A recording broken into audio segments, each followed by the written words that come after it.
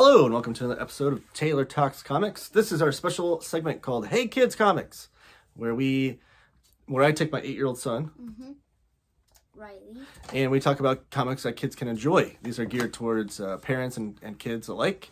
Um, and maybe you can find some cool comics that these kids would would enjoy because Riley enjoys them himself. He's handpicking all of these. Which one did you pick for us today? Pup Detectives. Pup Detectives. Um, Felix Gumpaw and Glasshouse Graphics. Yes, and this is a is it how many volumes are there? Eight, but we're only showing seven. Seven. Just like, um, Total Mayhem. yeah, Total Mayhem, our next episode. Is that the next one? Yeah. Okay. So we have seven volumes to show off today of Pup Detectives. Uh, this is a mystery series that kids might enjoy. So let's flip the camera around and put these under uh, the microscope, so to speak, and look at them in greater detail.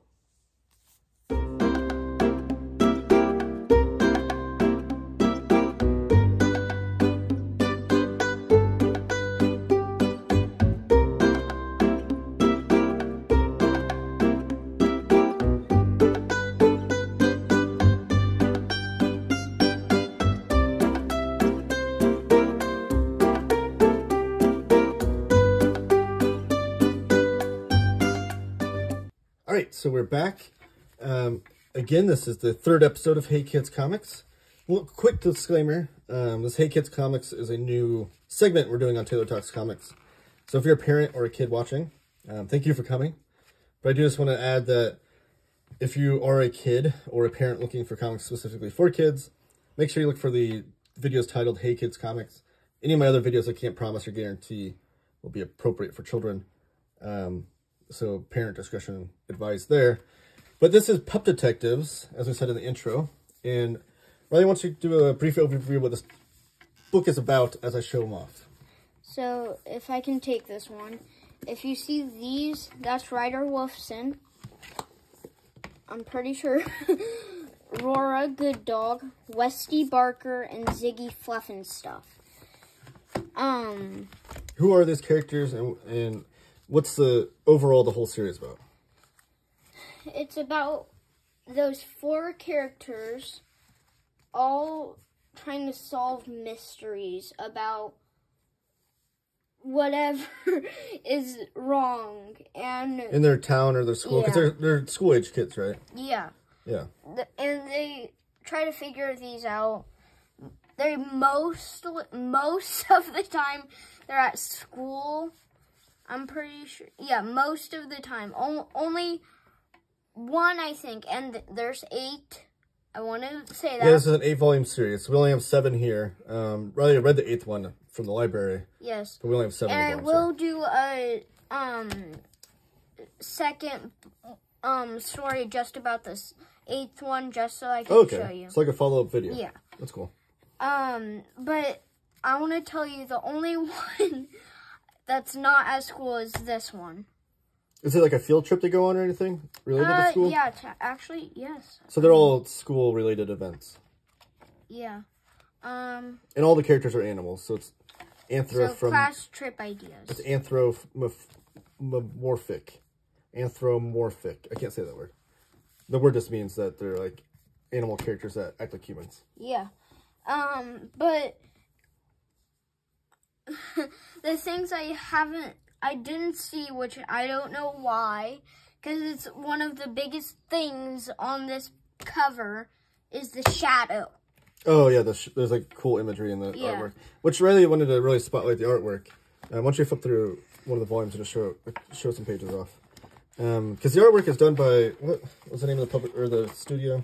Um, It's Glass House Graphics, um, and some of them are are title or credited to Walmir Volmir Archanho, Archanho. I'm sorry if I'm butchering your name, um, but then a lot of times it says Glasshouse Graphics. So I think it's like a whole team, a whole studio that's doing them, and then Felix Gumpaw is the credited writer, which I think is a nom de plume, which just means like a fake name for a writer, like when you use like a different name. oh, and I wanted to you, say you cut off my my thing here. what? So, uh, kids out there, if you're into old um, detective shows or whatnot, they're usually called gumshoe detectives. But Felix Gumpaw, since it's pup detectives, I think is like Hmm. Yeah.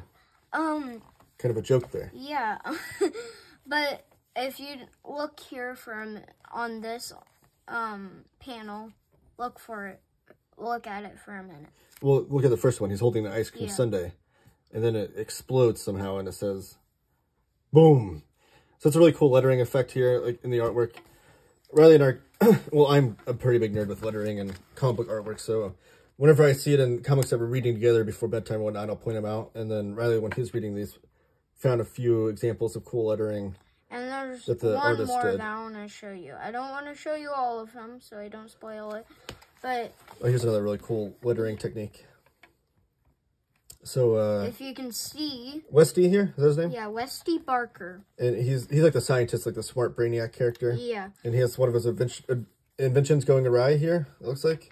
yeah, and there's cool lettering if you can see it. I'll take a minute and you can just look at it. You're talking about the whoosh, right? No, Oh, okay. help. Yeah, right it says here. help right there. So it's really cool. Um, yeah, so he's like the brainiac inventor character. And then you I'm have give- Ziggy's your favorite. Why Yeah. don't you talk Well, about Ziggy he's not bit? my favorite. Oh, he's the funniest. yeah, he's the funniest. He, now, if I can Ziggy's right here. yeah, Z- Ziggy Fluff and stuff. If I can, this guy right here, he's he loves eating. He never gets unhungry except in this one. This He one he says, appetite. yeah, but um, But normally he's always hungry. Yeah, almost every single time he's hungry, and he doesn't really pay attention to the Mystery at hand. yeah, he just he's kind of like Shaggy and Scooby Oh, okay. together. Yeah, because Shaggy and Scooby-Doo were always worried about eating. Yeah. And then um, not so good at And actually he's- solving the mystery. Yeah, and he well actually they solve it almost every time. Uh, By accident, though. Yes.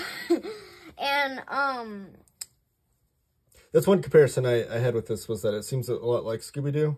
yeah. Um, as, as like school-age kids solving mysteries. yeah. Maybe more like a, a pup named Scooby-Doo. Have you watched that cartoon? When they're like younger?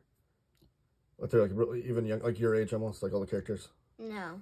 You have to watch the series. It's really fun. But they're, Um, all their mysteries, though, yeah. are based on school stuff. Ryder Wolfson. Who may be the Fred character? Uh yeah, I guess. And then that's, uh, who's the other, who's the girl? Um, not Velma, but the other one. Oh, someone leave it in the comments. I can't think of the character. There's Fred, Shaggy, Velma, Scooby, and I'm forgetting the other girl's name. Someone's going to correct us in the comments. Whenever you record these things, your brain goes blank sometimes. But that's who uh, Yeah. Roar reminds me of. I don't know if there's really a Velma character. Maybe Velma would be more like Westy, since he's like the brainiac. yeah, I And Velma's guess. the smart one. and then Ziggy's the other two. But they're they and also the thing I loved about it is if you look at there's a what is it called? Magnifying glass? Yeah, magnifying glass. But in the second one, it's a different one. Oh, so do a cool things with the artwork there, too. The well, that's the same one as one of them. Yeah, but that's because he there's only four Oh, okay. different kinds. So then it's the Oh, then they repeat them. fifth, and then Really cool artwork and book designs too. As a Yeah. uh, a parent and a comic book fan, art fan, all the the first of all the covers are like an homage to the old EC comics. If you're fans of those, yeah, it Um, looks like it's beat up. It's not. yeah, it's like a, aged and looks vintage um, around the cover. But these are brand new books. It is it was made to look that way, to look like an old pulp novel um, that you find at a used bookstore or what have you. So really cool um, book design and artwork and stuff in these. Uh, so from a parent standpoint, that, There that's a- ten chapters in every single one. Okay. So from a parent, that's the thing that stood out to me the most was the artwork um, and book design and stuff like that. Uh, what age group would you recommend these for? Five to maybe ten. Okay, so Mostly if you just like mysteries and you're over five, I would say that you could read these. yeah, depending on your reading level, uh, Yeah. which parents, if you're watching, you'll you'll be able to judge your own um, kids' reading level and whatnot. So maybe at five they might need some help reading it or what have you, and um, at at age ten it might be beneath the reading level, but you can always it's always fun to read books Yeah. even if they're below your reading level. That's what we tell Riley all the time. He's he's a high reader himself, but I he reads he reads plenty of books just for fun. Um, that are and I read with my dad every night. yeah before bedtime too. So um, really really cool books, a really cool series if you're into mysteries. and we highly recommend it. It is published by Little Simon, which is the imprint of Simon and Schuster. And you can copy this thing. Oh yeah, so Riley want to mention this because Riley likes to uh, do his own artwork. And If you saw in the first episode, I think, or the second. yeah, I think you mentioned it. Um, the first or second, I don't know. he likes to do his own artwork. So whenever he finds cool artwork in books, he likes to kind of mimic it or practice It make it look first like one, that style. yeah. It was the first episode, if you've seen that. Um, So he's doing his own homage covers to yeah, this. and the only things I've changed is the number one, two, it says in all of them. And then the name Pup. and then pup and the bone. But the and that's what I was talking about. EC Comics, their design was like the top third of the page have the title, yeah. and then the circle images for different characters or stories within the book, and then the big picture cover image. That's like and the almost every time the bottom one is the culprit. I'm not saying all of the time, but usually. So that one's about the lunchtime bandit. This one's about the tiger's eye. Soccer mystery, ghost goblins and ninjas, missing magic wand, mystery mountain getaway, and big bad wolf. And one more thing that we didn't mention was that uh, one thing I would like to ask or recommend too is, do you think any of these could be someone's first volume? Like, can you pick up if a kid like Oh. found these in the store, Oh, could they pick yeah, up any yeah. volume? So pick the first one, and then you can read any of the others because the first one kind of shows about the characters and a lot of the others. But um, this is a really fun series for me. I if comment down below if you've read more than four in a day. I don't. I've read four in a day. I'm surprised. Well, Oh, it's a pretty Yeah. quick reads. I yeah, so- read all these in about two days. So Riley's recommendation is to try to find the first volume if you can, and then after that you can find any volume you want because they're they they can pretty much be anyone's first story. Um, let's show off the spines again. So if you like this video and like this content and like the Hey Kids Comics segment, um, what should they do? They should like, subscribe if you haven't already, and if you're a parent, I think your kid would really like this story. Yeah, so comment down below if you have read this or if your kids read this, what their thoughts were. Or if you're going to buy it based on a recommendation, let us know that too. And then Riley always likes to hear recommendations also from other kids and parents.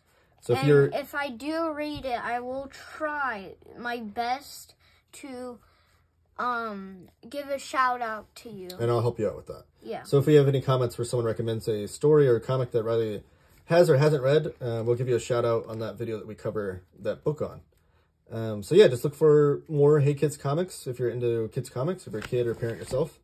And we'll bring Riley back uh, a second time this week. I think we're going to do two a week. Yeah. Um, We did one a week because we started in the middle of the week. yeah, but we're going to try to finish out the whole summer, two a week. yeah. Uh, so thank you guys for watching. Uh, we appreciate it. Wait.